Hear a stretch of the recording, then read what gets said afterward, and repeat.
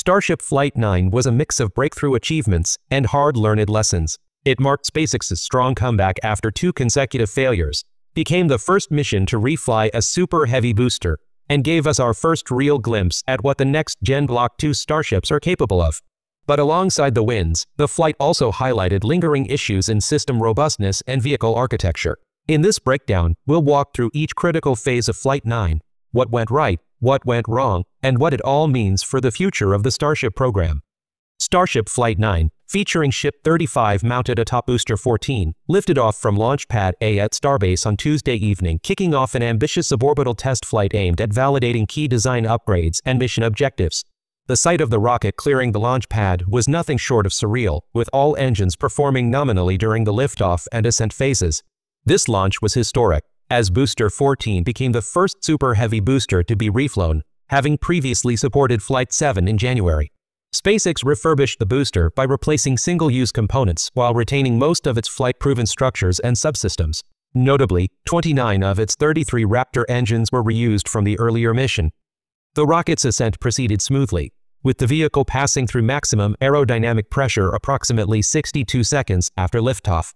The thermal protection system tiles on the ship withstood the aerodynamic stresses without significant loss, indicating improvements in TPS durability.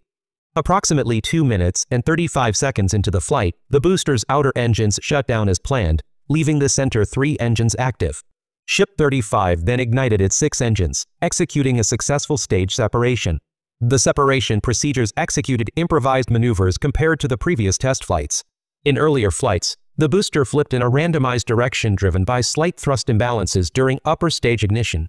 This time, however, the flip was controlled, achieved by blocking specific vents on the hot stage adapter, which redirected exhaust to push the booster in a known direction. This precise maneuver reduces the ship's need for reserve propellant, freeing up more for ascent, and enabling higher payload capacity in future missions. Following the flip, the booster reignited its inner ring of 10 engines for the boost back burn. This phase had previously encountered issues in Flights 7 and 8 due to pre-burner igniter failures caused by excessive thermal stress from extreme temperatures near the ignition zone. These conditions can damage sensitive components or alter propellant behavior, leading to unreliable ignition. SpaceX addressed these concerns by enhancing insulation around the igniters, leading to a successful boost back burn in Flight 9. After completing the boost back burn, the booster jettisoned the hot stage ring to reduce mass during descent. SpaceX planned several experimental maneuvers during the booster's return to gather real-world performance data on advanced flight profiles and off-nominal scenarios to minimize risk to ground infrastructure during these high-risk experiments. No mid-air recovery was attempted. Instead, the booster followed a downrange trajectory over the Gulf of America for a controlled ocean splashdown. One of the key experiments involved guiding the booster down at a steeper angle of attack to increase atmospheric drag, thereby slowing its descent through aerodynamic braking. This method conserved fuel, enhanced landing accuracy, and yielded valuable data for refining Super Heavy's flight control algorithms. Among the pre-planned objectives was testing engine-out scenarios during the landing burn, designed to have backup engines automatically take over thrust control if a failure occurred, a vital feature intended to ensure the booster could still land safely even if an engine failed seconds before the tower catch. However, during the landing burn, things began to deviate from the plan. One of the 13 center engines failed to restart, and telemetry data soon confirmed that all engines had shut down moments later. The booster was approximately 20 seconds from landing when the anomaly occurred, resulting in its loss. Despite the setback, the flawless operation of a reused booster through stage separation, providing the critical thrust to propel the ship into space, was a remarkable achievement. According to SpaceX, insights gained from refurbishing this booster combined with pre-launch testing and in-flight data from Flight 9, will contribute to SpaceX's goal of achieving rapid turnaround times for booster reusability. Did you see a confirmation that the booster did demise? So the booster's flight ending before it was able to get through landing burn, but again, we are not bringing that back. We are expecting it to make a hard splashdown in the Gulf. We were getting live data back the entire time through that high angle of attack flight, so that was something that was really vital for us to get during this reuse. After separation, Ship 35 continued its ascent along the planned trajectory.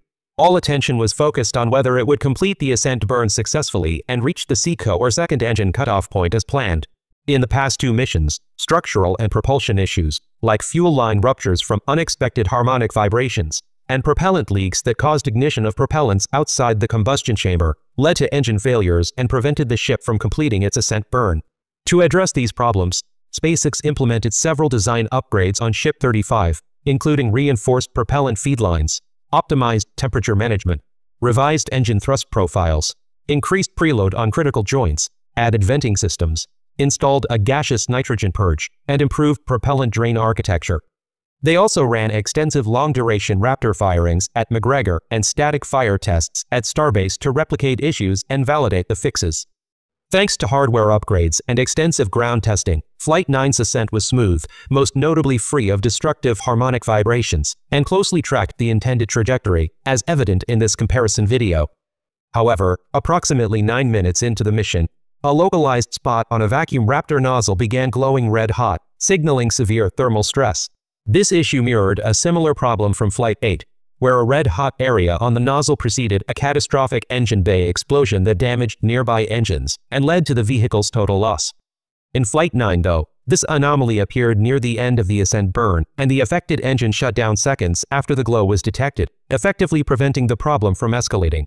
Though this incident signals engine reliability issues still exist, SpaceX has clearly made progress this time. All engines completed the full ascent burn without failing, a major improvement over last two flight tests. After the RVAC engine shut down, the sea-level Raptors cut off as planned, completing the full ascent burn. This marked the first time a Block 2 Starship cleared the SECO stage, or second engine cutoff, a major milestone for SpaceX and the Starship program. The ship continued coasting along the intended suborbital trajectory, ultimately targeting a controlled splashdown in the Indian Ocean. However, things began to go off track during the coast phase. The planned deployment of eight Starlink mass simulators couldn't take place due to a payload bay door issue that prevented it from opening. These simulators, built to replicate the size and mass of the upcoming Starlink Gen 3 satellites, were meant to validate Starship's payload deployment system. But that critical test had to be skipped due to the anomaly. The ship continued its journey thereafter, but soon began losing attitude control and started spinning in space. The root cause was traced to a propellant leak which led to a loss of main tank pressure critical for feeding the reaction control system thrusters. We did spring a leak in some of the fuel tank systems inside of Starship, which a lot of those are used for your attitude control. And so at this point, we've essentially lost our attitude control with Starship. These thrusters rely on high-pressure ullage gas flow to generate precise control torques needed for stable orientation in the vacuum of space. With tank pressure dropping below operational thresholds, the RCS thrusters lost effectiveness, causing the ship to lose fine attitude control and begin uncontrolled spinning. This failure compromised the spacecraft's ability to execute planned maneuvers and maintain proper orientation. SpaceX had planned a brief 5-second Raptor engine firing during the coast phase to demonstrate microgravity restart capability, an essential maneuver for accurate re-entry and landing in future flights. However, this test was aborted due to the loss of attitude control. The loss of attitude control led to an uncontrolled re-entry, leaving the vehicle's heat shield tiles not oriented towards the plasma flow. This misalignment exposed unprotected surfaces to intense thermal and mechanical stresses. Several heat tile experiments, including tests of new metallic tiles with active cooling, were planned during re-entry, but could not be conducted effectively due to the vehicle's orientation. Recognizing the inability to perform a controlled re-entry, SpaceX initiated an automated safing process to vent remaining propellants, placing the vehicle in the safest possible condition. At this point, we had lost attitude control of the ship and entered into a spin. The team made the call to do what's called passivate the vehicle, so we're essentially venting all of the remaining propellant overboard, and it's going to make an uncontrolled reentry. As Ship 35 descended into denser atmospheric layers, it began to tumble and disintegrate due to plasma breaches and structural failures. Contact with the ship was eventually lost about 46 minutes into the flight, and SpaceX confirmed the vehicle was lost, with all debris expected to fall within the designated hazard zone in the Indian Ocean. And just to confirm, we did lose contact with the ship officially a couple of minutes ago, so that brings an end to the ninth flight test. And we clear the zones in the Indian Ocean where these entries could take place. Um, so we're not going to come down exactly where we would have had nothing happened, uh, but we do clear a tremendous amount of uh, space out in the Indian Ocean um, in the event that we run into this. You always we we understand that there are always risks, essentially with these flight tests with the hardware, uh, but we don't really accept any compromise when it comes to protecting people. SpaceX is currently analyzing data to determine the exact causes of the booster landing burn anomaly and the propellant leak in Ship 35. The Federal Aviation Administration has acknowledged the incident and is collaborating with SpaceX on the investigation. No injuries or damage to public property have been reported.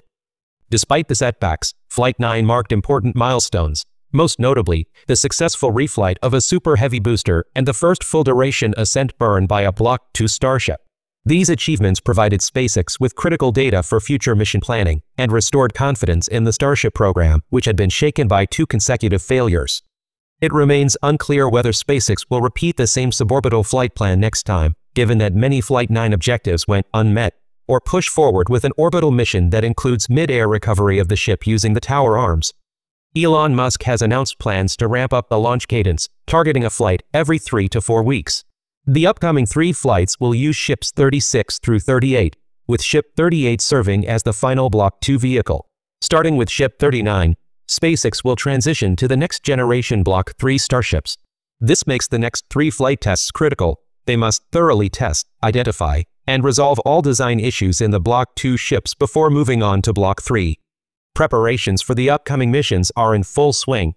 Ship 36 has received all its Raptor engines and is now being prepped for static fire tests. Ship 37 is fully stacked inside Mega Bay 2, getting ready for its cryo-proof testing. Meanwhile, Ship 38 stacking is complete. The final aft section was added just days ago, and work on its electrical, hydraulic, and avionic systems is currently underway. Let's stay optimistic that SpaceX will quickly pinpoint the root causes behind Flight 9's anomalies, apply effective fixes to the upcoming ships and boosters, and get Starship flying again within a month, just as Musk promised. We'll be diving deeper into the Flight 9 details and tracking the progress of upcoming missions as more information becomes available. Don't forget to subscribe and hit the notification bell to stay updated with all the latest developments.